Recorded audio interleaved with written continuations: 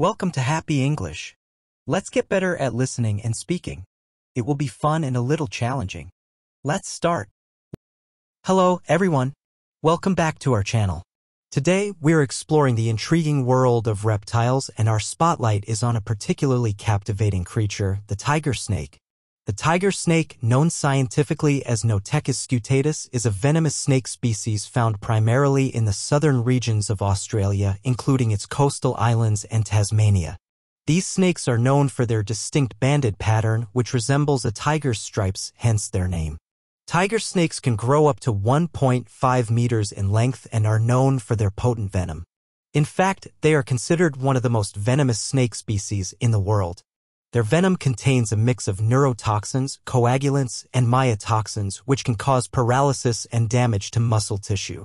Despite their fearsome reputation, tiger snakes play a crucial role in their ecosystems. They help control populations of rats, mice, and other small mammals, contributing to the balance of nature. However, it's important to remember that tiger snakes, like all wild animals, prefer to avoid human interaction and will only attack when threatened or cornered. So, while they certainly command our respect and caution, they are not the villains they are often made out to be. That's all for today's episode.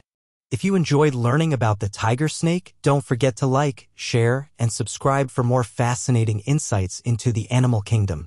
Until next time, stay curious and keep exploring the wonders of the natural world.